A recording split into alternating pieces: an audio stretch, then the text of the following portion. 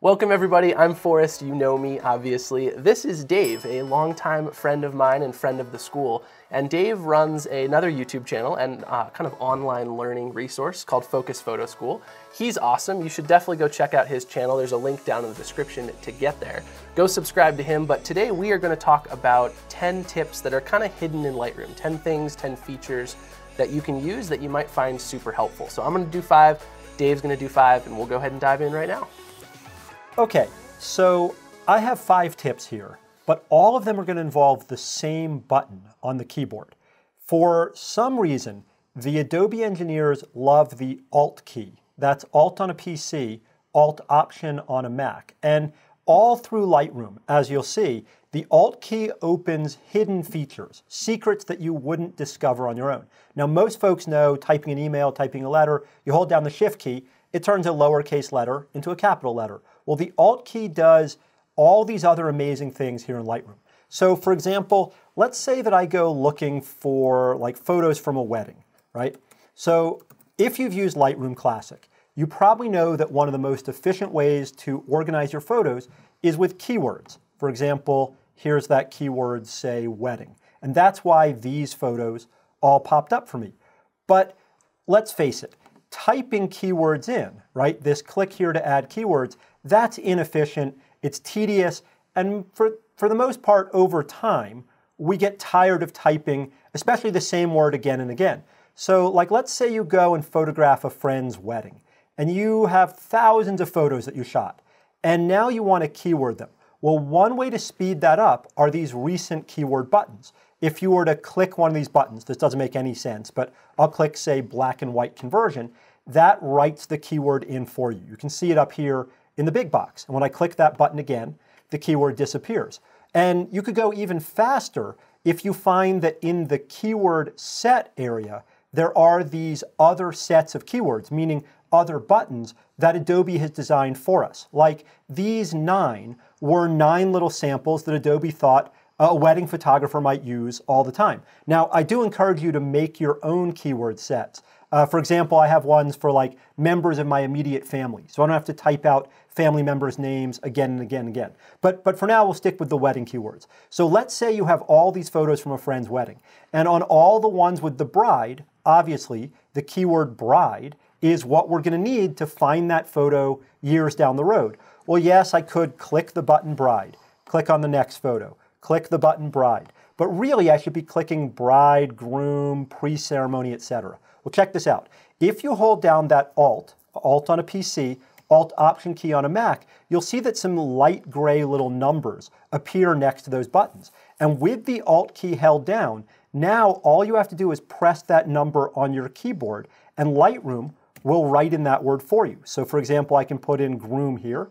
I can put in, say, ceremony all without having to move the mouse or use, especially on the laptop, basically I can use one hand for all of this. This gets even faster if we say select a bunch of photos. Because of course in Lightroom, when you have more than one file selected, whatever you do to one is happening to all of them. So like that, I could pick a whole bunch of these photos and go Alt, Alt 7 for bride, 8 for groom, and we'll just say uh, 2 for ceremony.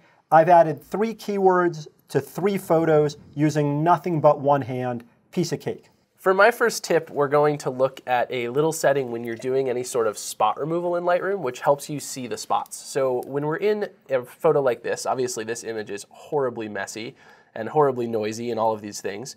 If we take it into the develop module and we grab the spot removal tool, obviously it's pretty easy to see our spots and nab them and get them out of here pretty quickly and easily. But on some images, such as, let me hop back here and grab this one, the spots are not nearly as easy to see. Like obviously we can zoom in and kind of look around here and see, oh, there are some here, but it's not going to be as apparent because those spots are not as crisp. And normally if you use a less stopped down aperture, your spots will not be as crispy as they would be at like f22 or f32 or something like that. So what we can do here is grab the spot removal tool and down here on the toolbar at the bottom, and you may need to hit the letter T to bring up your toolbar. Sometimes it hides itself. Oh, that's a secret worth learning. Super annoying. Uh, T will bring that back. We have a little checkbox that says visualize spots. We can turn this on, and it takes you into this little weird kind of black and white view. And we can use this slider to customize kind of the level of, I don't know what you'd say, the, the level of masking that's applied to this to show you those spots. And we can see now all of those little spots stick out so we can zap them really quickly and easily. Now, I would kind of war warn people from uh, doing this without, as you can see, weird things start happening. I wouldn't start actually cloning away spots without turning off visualize spots. Use that as a way to find them initially, kind of see where they are, do some cleaning up without it turned on. And then when you're all done, I would always turn visualize spots on at the very end just to ensure that you really did get every spot off of the image. So again, pretty easy. You can go ahead and just turn that on by checking the checkbox. You can also hit the letter A on the keyboard via the keyboard shortcut. We like those makes things faster. So visualize spots would be my first tip, super quick and easy. Uh, so to pick up on my next tip, so here in the library module, again, I'm going to I'm gonna stick with the wedding photos for just a second, because let's face it, anytime you go to an event like this, you're going to shoot way more photos than you actually need. And there's nothing less efficient in Lightroom than having to go from the library to the develop module to fine tune one image, moving all these sliders back to the library, on to the next photo, back to develop. If we're working fast, if this is something where roughly good enough is good enough for the job, then the quick develop panel in the library module is a great way to save yourself a lot of time. With quick develop, what we're doing is calling those features that we know and love from the full develop panel develop module, but we don't have to move from place to place. So for example, in here, if I wanted just for demo to make this one darker, I can just tap these little exposure buttons, and what I've really done in develop is move the exposure slider down by like negative one stop. Okay, so back here in the library though, let me go back to library, and just for the doing, let me just reset the develop settings on this one. Here in the library, if you open this little disclosure triangle, you'll find there are plenty of sliders to use to fine tune an image, exposure, contrast, highlight, shadows, whites, whatever. So in here, I could say, well, I think I want the highlights a little darker, I want the shadows a little lighter, I want a little less contrast, maybe I want a little more clarity, a little more vibrant. But some of the controls that we're used to using in Develop are missing. Well, the secret here is, again, that Alt key. It won't give us everything, but if I hold Alt, Alt Option, you'll notice the bottom that sharpening, uh, or that clarity and vibrance become sharpening and saturation. So in this photo, if I wanted to, I could add a little bit of sharpening. Now, obviously, I should be in there at 100%, at one to one, to really see if this is doing good work or bad work. Likewise, if I wanted, I could change vibrance to saturation. And just to show, I could boost that way, way up, like way too far. Or Pumpkin. with the Alt key held down, I could go the opposite and drop all the saturation out. So now I have a black and white, and I haven't had to leave the library module to get there. And of course, like my last trick, you can select a block of files, still use the Alt key, and like that I could make any of these sharper or less saturated, and these two would never be visible to you without that keyboard modifier. My next tip is a little bit more in the preference side of things, and it has to do with what happens to your changes that you make to your images when you make them. So by default, whenever you make a change to an image, that change is written down into the catalog, into little Lightroom's little catalog file. And that's great because that allows us to have non-destructive editing, it allows the original image to remain unchanged on the hard drive, and all of those good things. The problem is, by default, those changes are only written down to the catalog file itself, which means if you were to delete your catalog or something happened to it and it got corrupted, all of those edits that you've made to your images would be lost. The image would be fine on its own, but it wouldn't have any of those changes. So one preference that I really like to change is up here under Edit Catalog Settings, so Lightroom Catalog Settings. Inside of the catalog settings panel, there is a tab for metadata. And the third option down here says automatically write changes into XMP. So what that means is when you make a change in Lightroom, if you enable this checkbox, instead of that change only being written down to the catalog, a second copy, so to speak, is also written down to the metadata of the file itself. Now, it's still non-destructive. You're still not going to permanently alter your image. You're still not doing anything to that original file.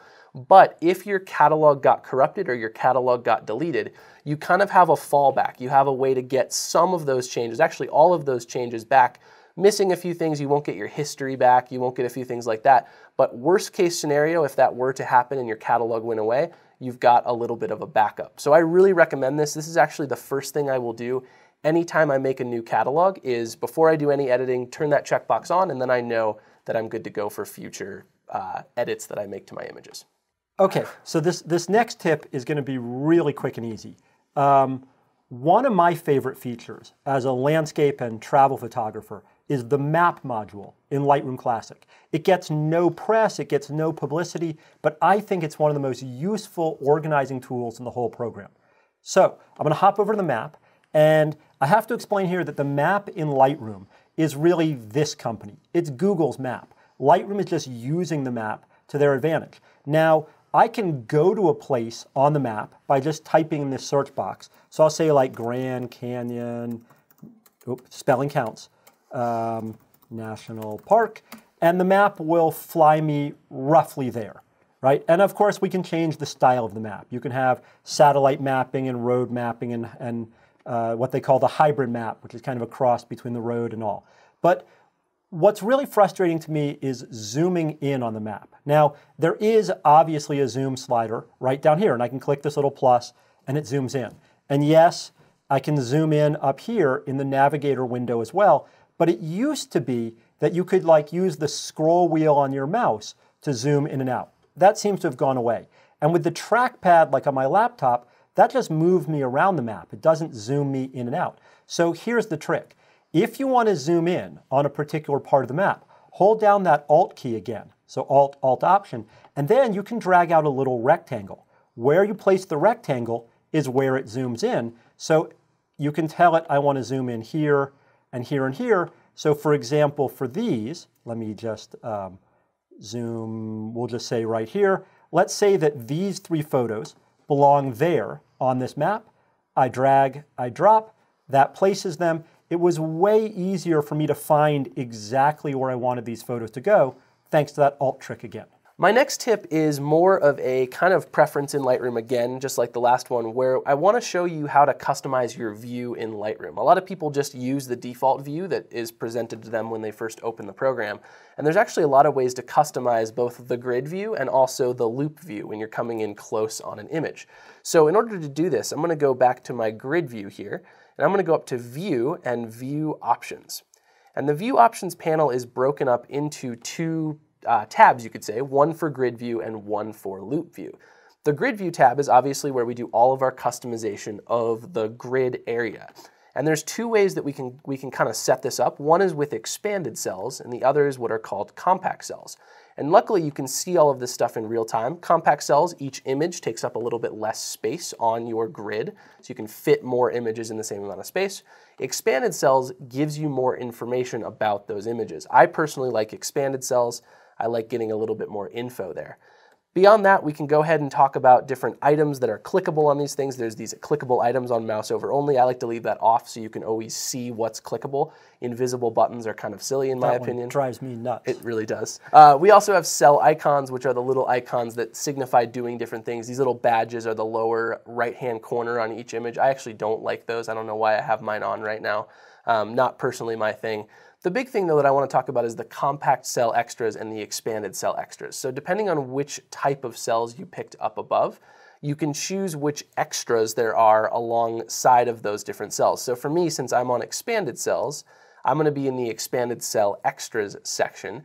And you can customize all of these different things that are basically extra bits of information that get laid on top of those images. So what I would recommend for you guys is click through this list. You can see it's crazy long, all of the things that you can overlay here, and find some things that are useful. For me, I like things like exposure, what camera I used, how many megapixels that camera was, what the file name is, just different things to compare between my different images.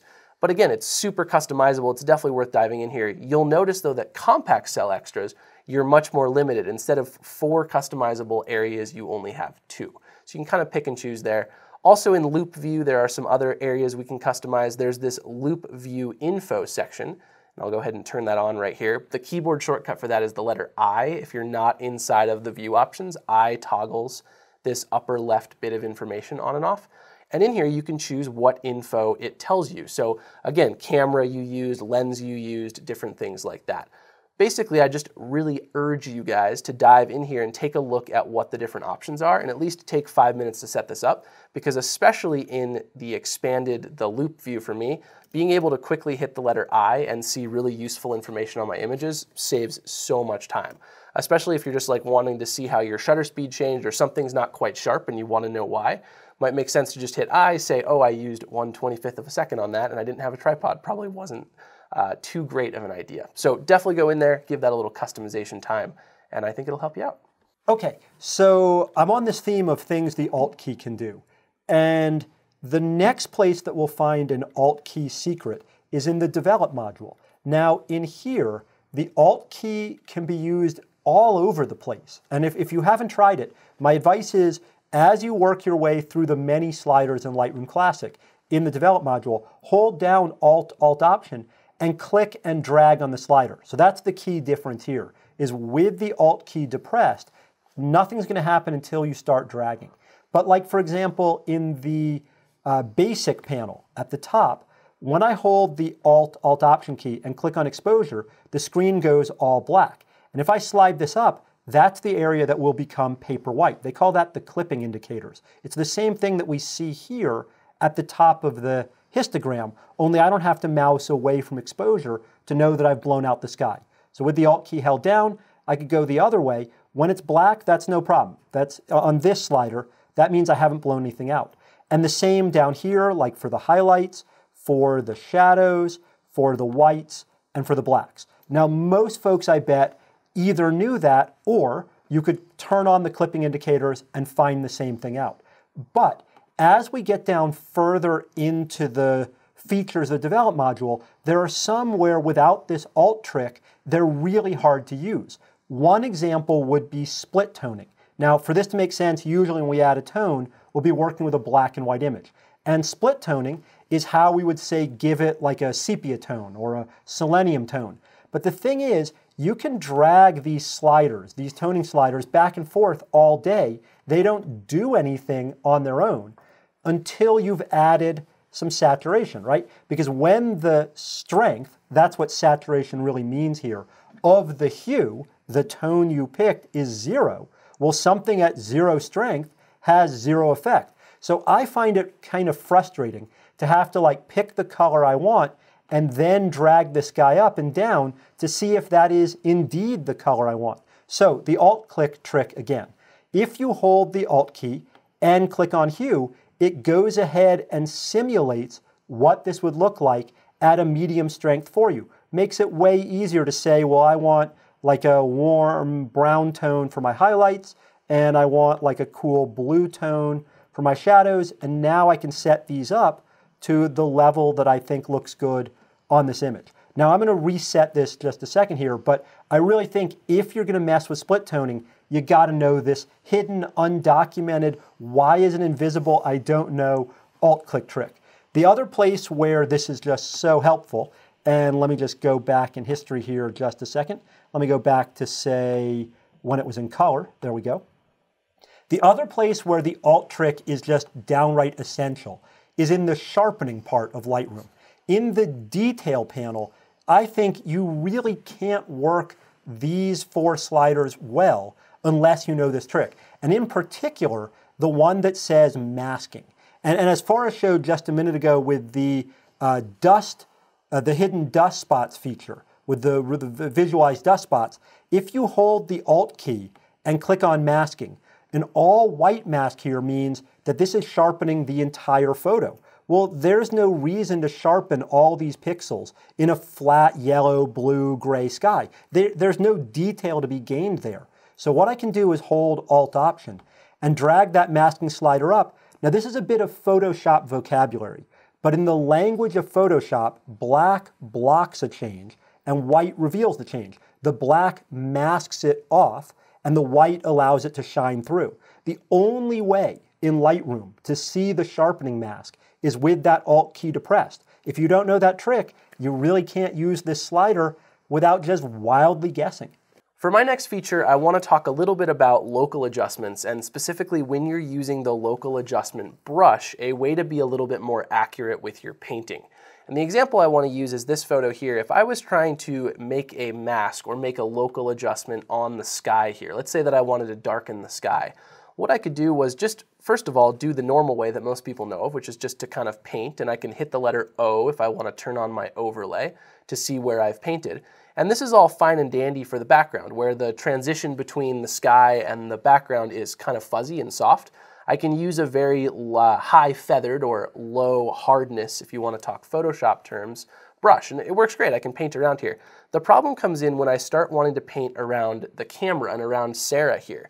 So I could zoom in and I could get a really small brush and try to paint very accurately. And that is one way to do it. But the other way that I can do it, let me move up my cursor here a little bit. The other way that I can do it is I can actually turn on this thing called auto masking inside of the local adjustment brush panel. So I'm gonna go ahead and turn that on. And what this is gonna do, let me make my brush nice and big here, and I'm actually gonna make it very low feather, very hard edged brush. So first of all, with auto masking off, if I was to be painting here, and I'm gonna have the overlay on so you can see, and I started to run up into the camera, it's not gonna stop or hesitate or really do anything to try to prevent me from painting the camera as well. To the contrary, if I turn on auto masking and I do the same painting, and you can see that the reaction is the same over the sky. As I start to get down to the camera though, the auto masking actually prevents me from painting the camera. It's seeing that there's so much difference in what my paintbrush is touching between what I'm trying to paint and what I'm not that it's not painting that area.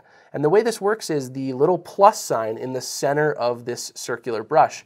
Lightroom is looking at what's under that plus sign. And if that plus sign doesn't touch anything that you don't want, it's not going to paint it. But watch what happens. If I run down and that plus sign just touches the camera, then it says, oh, that must be okay to paint that tonality. And so it paints the camera area. Now, obviously, this is going to be a little bit of a mixed bag for working in all situations. You need a little bit of contrast between what you want and what you don't want. But in a situation like this where there's plenty of contrast, Lightroom's going to have no problem seeing these edges. And you can see the hat there. The blue is very similar to the sky blue. But it's going to help you. It's going to give you a big kind of advantage in how you're doing it. Now, the opposite is true. Let me quickly delete this. If I was trying to paint the hat here, paint Sarah's hat, I would want to turn auto masking off because with it on, we're going to have to scrub over a lot of these areas a lot of times to fill in all the little bits. Whereas if we turned off auto masking, let me go ahead and undo that, then we only have to go over everything one time and it fills all those areas in. So I would say if you're trying to fill in a big area with a lot of texture in it and you want to paint all of it, turn off auto masking. Just let it fill paint and just be careful with your painting. But if you're painting up against an edge, turn on auto masking, be real careful not to let that plus sign touch and it'll help you stay inside the lines. My next trick of the Alt key is slightly more involved. The thing is, there's a module in Lightroom that I would really like to use, but I find it very limited, and that's the slideshow module. So if I'm going to put together a slideshow, the way it works in Lightroom is you build a collection first. Like I have this one here I'm just calling AA Temp.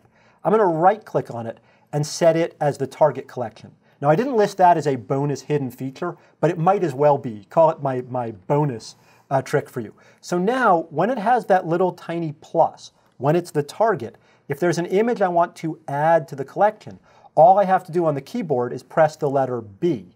B for bring it into the target collection, or B for bring it out. So I can go and press the letter B, and now this one is in that collection. And the reason you have to put your photos into a collection first is because if you go to the slideshow, like for me, if I go all photos, slideshow, well, I have 131,000 photos. And Lightroom would then assume that I want to see all 131,000.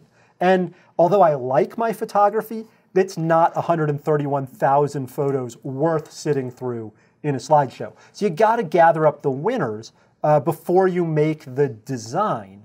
That's what the slideshow module really does. Well, anyway, I'm just going to grab just a couple of random photos here. Doesn't really matter. I'm just going to say B and B and B and B. Fine. So now I have four photos. Let's just say it's going to be a very short slideshow. So I go to the slideshow module. Now, the slideshow module is great for things like this gray border or my website's little logo down there in the bottom corner. Let's say I want that one like in the opposite corner. The slideshow module is great for what we're really doing in here is this, uh, like that little border around the edge. We're designing the look that goes in the slideshow. This is fine if you want to play it here in Lightroom. But when you want the slideshow to have more features than this, when you want like different transitions between one slide and another, or if you want a different length for one slide than the next, Lightroom actually won't give that to you. The controls down here in the playback part have not been updated in a painfully long time. And compared to, say, Keynote, the slideshow presentation maker on the Mac, or PowerPoint on the PC, what we have here is pretty feeble right? The same transition on every single slide. So what I'd love to do is design something like this, my logo, the gray background, the border, but then I want to put these photos with their framing elements over into Keynote, since I'm on a Mac. Uh, PC folks, PowerPoint's the same, or some more sophisticated slideshow program. Well, the problem is down here, the only two buttons at the bottom where it says export, meaning save a copy, are save as a PDF or export as a video. Now, video is fine if you're posting to YouTube, but again, it doesn't fix the, the slide timing or the lack of the ability to set a different transition from this frame to that frame. Well, the secret here is if you hold the Alt key again, the one that says export to PDF becomes export to JPEG. So if I click on this one, Lightroom will say, what do you want me to call these? And I'm just going to put them on the desktop. I'm just going to call this demo slides. All right, I can tell it uh, what quality, what size. In this case, I'm going to go 1980 by, um, no, I'll go 2048. Oh, yeah, yeah, yeah. Uh, apologies. Go 2048 by 1536. So a big high quality uh, image. I hit export, just like that, Lightroom will cook what you see here. Each one of these images with its gray background and my little logo, it'll cook them all as individual JPEGs. It will drop them into a folder on my desktop. Here they are, demo slides. You can see them one, two, three, see the framing. All that design work Lightroom did fine for me. So now all I have to do is go to whatever slideshow program I want, say Keynote or PowerPoint or whatever you're using, and I can just drop these slides into Keynote. I'll just drag all four of them. I'll drop them in. I'll delete this blank one at the top because I don't really need it. And now I can use all of the cool animation type effects. Let me zoom this out here so you can see that indeed what we did in Lightroom is still there. Let me go View, uh, zoom, fit to content, there we go. So I've still got my logo, don't sweat this black background, I can fix that in here, you know, that's the color fill, but now I have all the animation ability of Keynote or PowerPoint and the design ability of Lightroom, thanks to the Alt key. For my last little hidden tip, I want to talk a little bit about deleting images. So this actually is kind of one of those first things that you would do. When you import off of a card, you potentially have you know a few hundred images to go through. And normally you're going to go through those in full screen view. You're going to be zoomed in, just looking at it in either with the F key with full screen, or you double click, get into loupe view, however that happens to be. Well, the problem is when you're going through your images, if you find one you don't like and you want to delete, the traditional way is just to hit the delete key and every time say delete from disk again and again and again and again. And the problem is when you have four or 500 images to go through, that's hitting the key, mousing over, clicking, hitting the key, mousing over, clicking. It's not very fast. So what I recommend instead is to go through your images the same way, but each time you find one that you want to delete, instead of hitting the delete key, hit the letter X on the keyboard. And what X is going to do is it's going to give it the reject flag, the little black, looks like a little black pirate flag. And so what I'll do is I'll go through all of my images and I'll X all of the ones that I'm looking to get rid of. So real quick, I could just go bam, bam, bam, bam, bam, X the ones that I don't care about, so on and so forth. When I get all done, when I get to the end, I'll escape out of full screen view. And then with one quick little clicking, I can get to delete those. And the way you do this is you go up to Photo and delete rejected photos. And what that tells the computer to do is any images with the X flag, it's going to delete. Now you need to be careful here because If you accidentally hit X on some images, you might not notice. So what it does is once you click it, it actually shows you in the background the images that it's going to delete. And I usually recommend people kind of glance over that make sure that you're not really deleting anything you don't mean to. And then it gives you this little are you sure button where we can say delete from disk, and we only have to do that once. As soon as we hit delete from disk, all of those rejected photos are deleted off the hard drive and sent away, which is really awesome. It can save a lot of time. Another way to do this is if you don't want to go up to photo, delete rejected photos, and you just want to see the images that you've rejected, you can also, at the top of the grid view, go to the attribute section, and you can click the little black flag. And that will filter by rejected. It'll basically tell Lightroom, look through all of these images and find the ones that have the X flag, and you could just manually select those and hit the delete key and do essentially the same thing. So instead of deleting images one by one, instead use X, delete them all in a batch at the very end. This last one is probably pretty geeky. And it's, a, it's going to make use of some features of Lightroom that most people don't use, although I think they should. The feature I'm interested in here are smart collections. And what smart collections do is they, they run like filters, if you will, in the background. They look for things like keywords or star ratings, and they look for them continuously. So, for example, if I want to find all of my, say, five star rated photos in here, I can come up to the library attribute bar and I can say, show me the three star or the green label or whatever. Now, in this case, you know, nothing's popping up, but don't sweat it. If I was in all photos and I went, say, five star, just like that, Lightroom's going to pick out, you know, 10 of my favorite images out of the 130,000. Well, that's doing this once. When you make a smart collection, you're telling it to do that all the time. So for example, in here, if I say rating is greater than or equal to five star, that runs always in the background. So Lightroom is continually looking for any image that meets the rules to be in this club. And let me just show you down here, one of the things I use is I, I have this set of smart collections that do things like filter all the time for my one star images, two star, five star. They're always there. Well, that's pretty straightforward. But there are times when we want to make a smart collection that has a few more rules and possibly a conditional rule, a, a, a if or type sentence.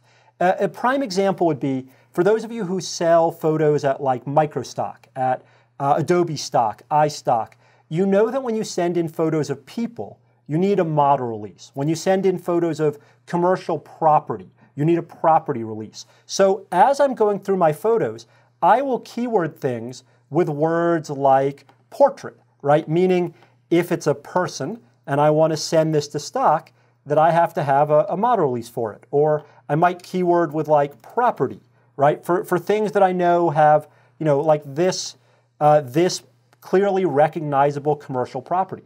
So let's say that I want to make a smart collection so I'll go smart collection. And we'll call this, say, uh, easy stock, so easy stock submissions.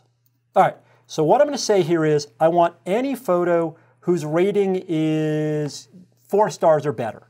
I'm going to say I want only photos whose ISO is lower than uh, let's say a thousand, because on my camera above that it gets noisy and they're likely to reject it. So why send them things? Why waste the time uploading files that probably won't get used, will get rejected, etc. Well, those two are pretty straightforward, right? I only want files with a four-star rating at a relatively low ISO. Well, here's the last of the alt-click trick tricks. If I hold down the alt key in here, Instead of just adding one more rule, I can add a conditional rule. And here, I'm going to set this one to say none of the following are true. And I'm going to say that for stock, for my easy submissions, I want things where there is not the keyword portrait, meaning things where I might need a model release, and I don't want anything where the keyword has property.